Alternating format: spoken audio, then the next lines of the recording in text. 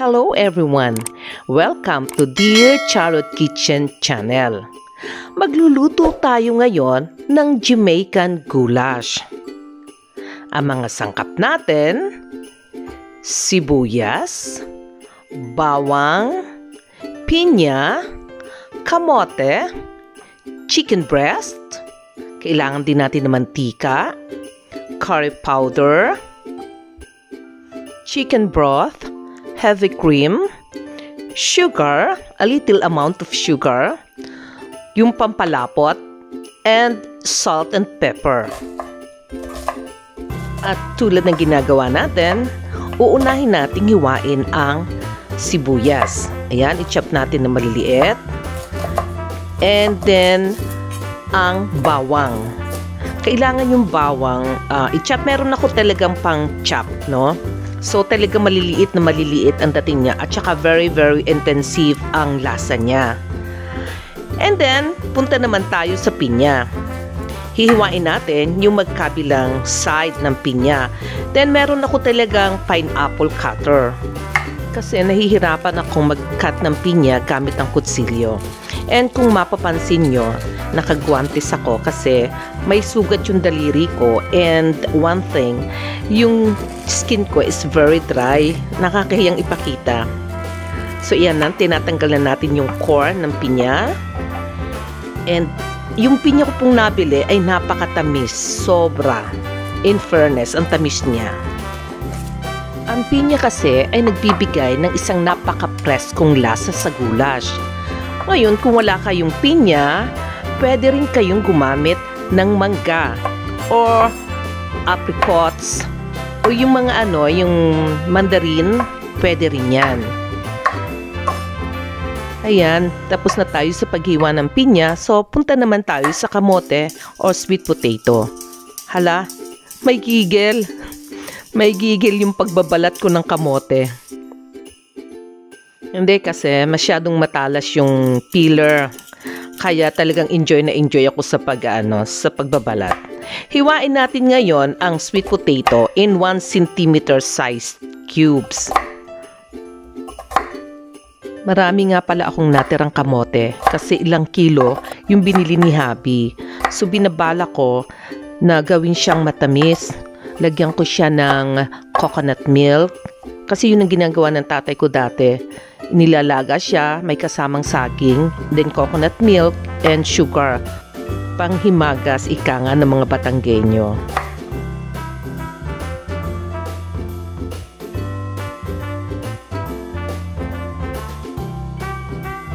Tuyuin ng manok gamit ang tissue or malinis na tuwalya. Karaniwang ginagawa natin ito bago lutuin ng manok tulad ng halimbawa prituhin, i-grill, or i-bake.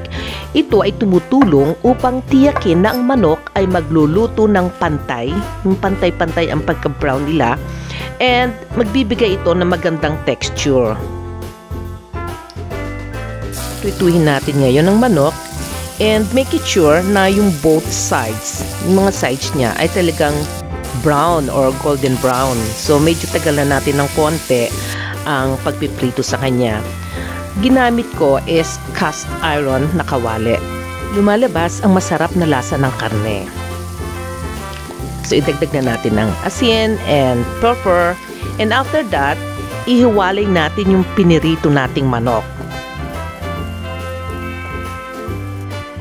Dapat ganito ang itsura niya, golden brown.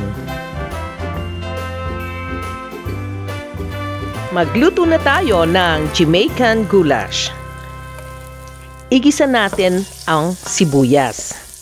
Tulad ng ginagawa natin. And then, yung bawang. Kailangan yung bawang medyo mangamoy. And after that, ayan, ilagay na natin ang sweet potato.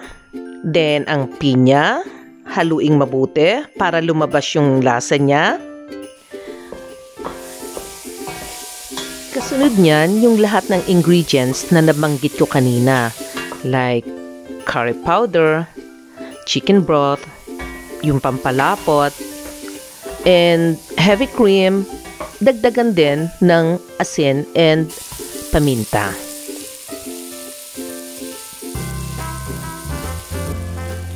ihalo na natin ngayon yung iniset aside natin na chicken breast or karning manok. Yan, nilagay na natin ngayon yung heavy cream. Ang susunod na dyan, yung chicken broth. Kalahating litro ang ginawa ko. Pero after that, tinagdagan ko pa rin siya ng konti.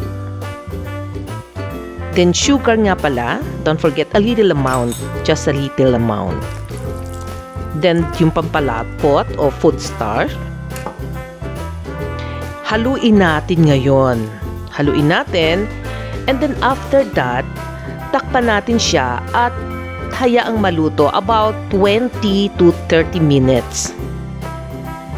Medyo hinain natin yung apoy kasi baka siya masunog. Kasi minsan, alam mo naman, nakikichika-chika pa tayo habang nagluluto.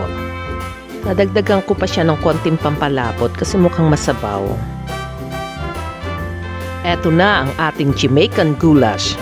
Ang ganda ng kulay niya kasi pinaghalo ng kamote na orange, pinya na kulay dilaw, yung lutuan na kulay orange din, kaya naman very colorful ang ating Jamaican goulash.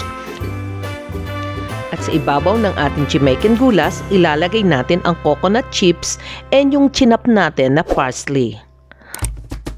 Enjoy your meal, bon appetit, and pwede nyo siyang iserve with rice or flatbread. Don't forget to subscribe our channel and hit the notification bell para lagi kayong updated sa mga videos na ini-upload ko.